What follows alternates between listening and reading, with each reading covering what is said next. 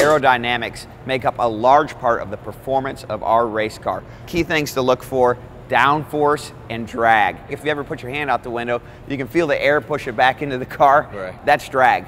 But downforce was like an airplane inverted. So an airplane takes off, a race car pushes down into the ground. That's why it's called downforce. The more downforce your car makes, the more grip it's going to transfer through the tires into the racetrack, the faster you go. Downforce on a race car is made mostly by this piece right here.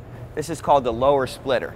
You can't really see it except for the very front edge, and it makes over 50% of the downforce on the car. Now to go with that is the rear spoiler. Between the two, the cars make almost 2,000 pounds of downforce at 200 mile an hour.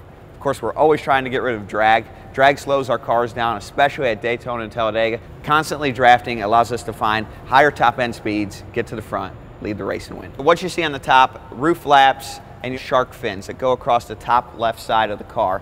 So these devices are made to slow the car down in a spin and put it back down on the ground, make the racing safer for everyone. Whenever you're leading the race, you have clean air. So clean air means that literally you have no one in front of you to disturb the air. You've ever been on the freeway and you can just hear the noise and hear the air rush by as a big tractor trailer comes around you? That's dirty air. It moves a race car around dramatically. So being up front, having that clean air, very, very important for us. Well, hopefully at the next race you get a lot of clean air, buddy. It's my plan.